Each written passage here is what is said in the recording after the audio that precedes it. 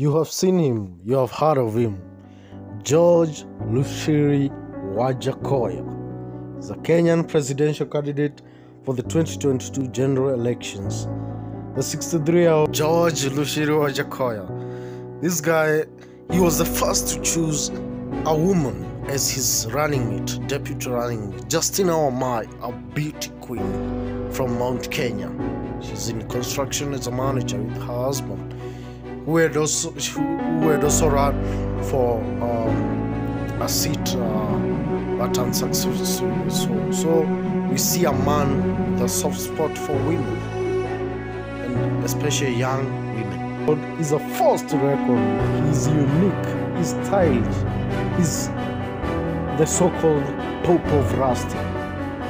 In a torn country, torn of economic ruin and desperation, we have seen an uprising of a presidential candidate like never seen before.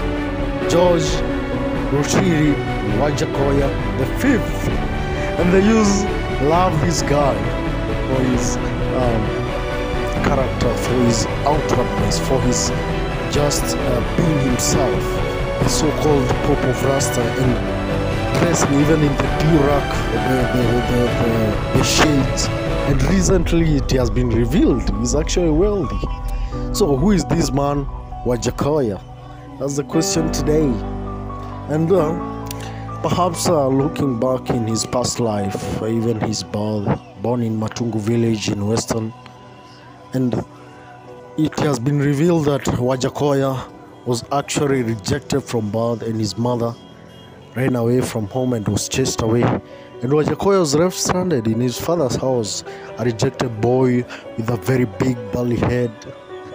Yeah, and it, it actually shows the hardship he had to go through, even going to the extent of following his mother and uh, trading her so that he, he could find her. He needed his mother, he really needed his mother, which perhaps explained some of his behaviors at a ripe age of 63. Perhaps he wouldn't be behaving this way if he had, he had his mother to hold him, to caress him, to hug him, you know. But uh, it shows determination in a young man. And even uh, followed her to Busia, uh, the short train. But unfortunately, he couldn't find her. Almost went to Uganda, but ended up in the streets of Nairobi. And here's another question I want to pose to you.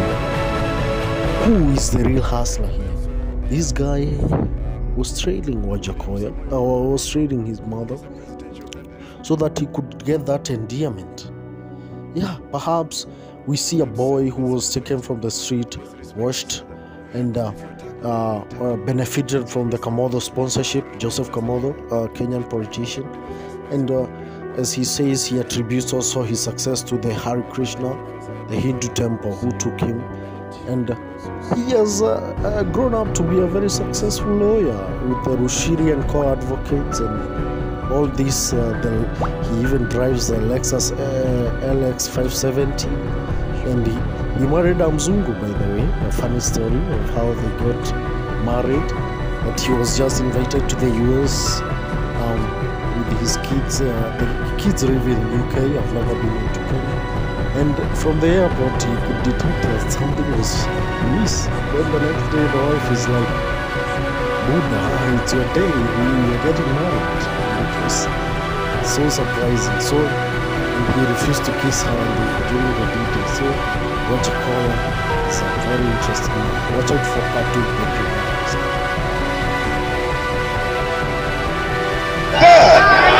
na mimi nimekuja nikasema "Eh, hivyo